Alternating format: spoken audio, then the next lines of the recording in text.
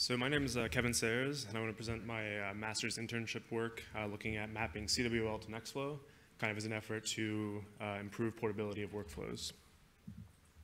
So first, a bit about both Nextflow and CWL.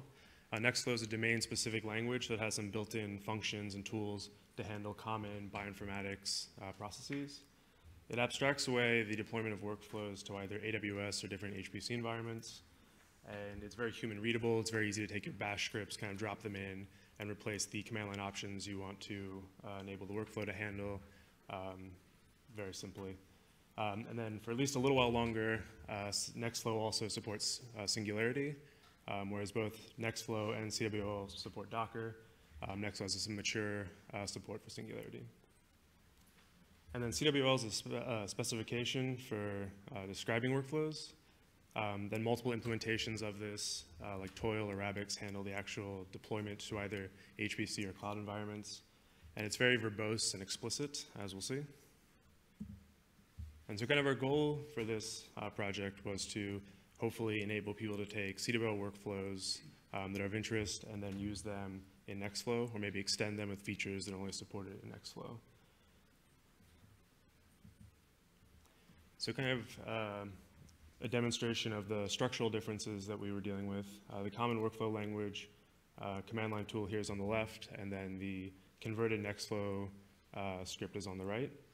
And so you can see that the CWL is very explicit, uh, defining each position, uh, which made it very easy to convert into uh, Nextflow. Um, and then for Nextflow, you have a bit more of a concise, human readable bash script that's being executed. And a more complete example uh, with the CWL to Nextflow tool. It takes in a uh, CWL workflow file, and currently it only supports um, command line tools being in separate files.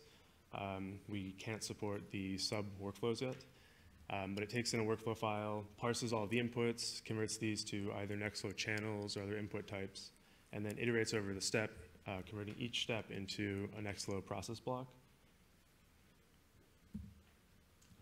And so kind of the uh, supported features, uh, and some of these supported features are supported to varying degrees. Um, but we support secondary files, uh, scatter, which actually works very well with Nextflow's um, channels. And then uh, we can do basic JavaScript expressions uh, for either runtime parameters or inputs.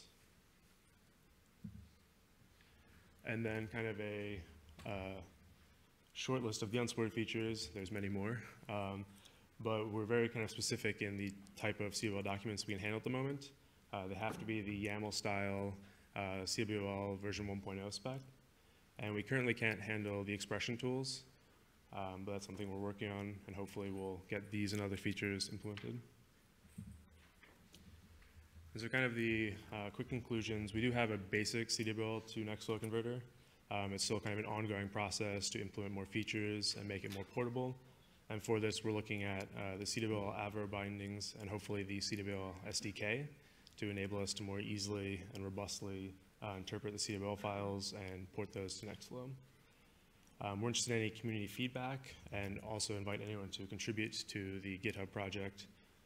Um, and then another thing of this is there's a number of uh, sample workflows as part of the repository that are both implemented in CWL and Nextflow. So they offer a good uh, side-by-side uh, -side comparison if anyone's uh, comparing the two languages or just of interest. And lastly, we have the, our GitHub repository. And I'd like to thank everyone for listening and uh, also come see us at our poster this afternoon.